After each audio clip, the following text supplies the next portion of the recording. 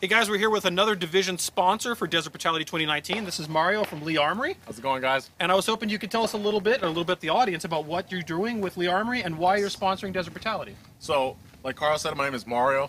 I'm the shop manager at Lee Armory. Uh, we're AK manufacturers, uh, and we build clash pattern rifles. Um, we have a great line of series of rifles. One of them that's just been picked up by MSR Distribution. Uh, we are the first Nice. domestic AK brand that they have carried, uh, other than Mola and Arsenal, and that'll be our military classic version of line of series of rifles that we have. There are virgin kits coming in from Walmart, uh, imported by M plus M. We are doing final machining, building, and assembly. Uh, great rifles. We're trying to keep as much as original Romanian parts on them as possible. Of course, we have to be 922R compliant. So your 922R compliant parts will be your pistol grip, magazine, uh, trigger, and brake. And you're doing like made in America shitty cast trunnions that'll break, Of right? course not.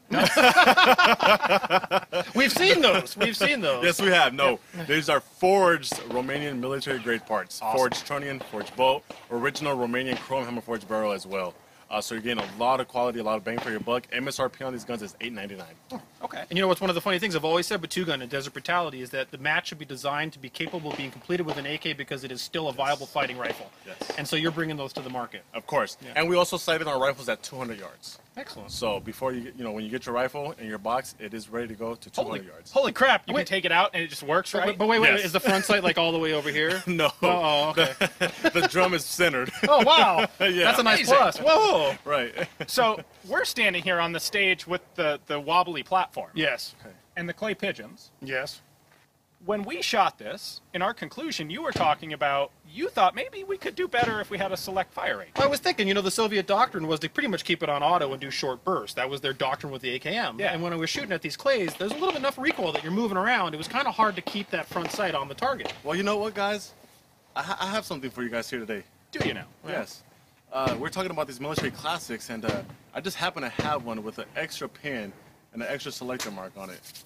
Well, Let's find out if it's a truth or not. You're on. I don't think it'll be better. You don't think it'll make a difference? I think it'll be a lot more fun and a lot harder to hit. fun's better too.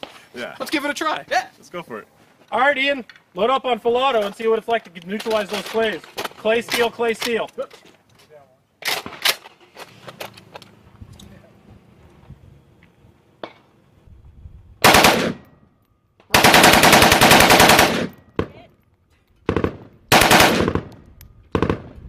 You hit the first one. You hit it.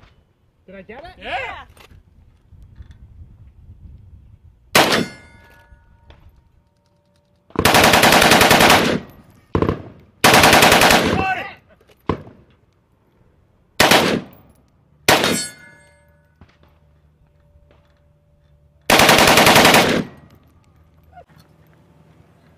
I am out of ammo.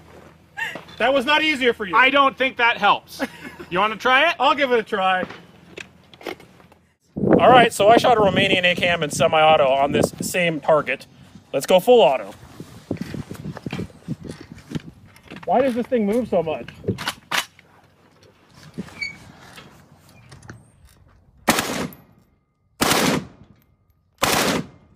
Got it.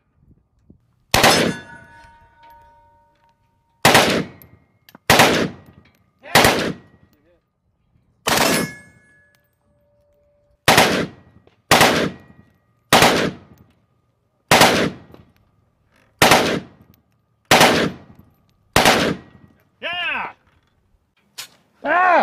Oh, reload!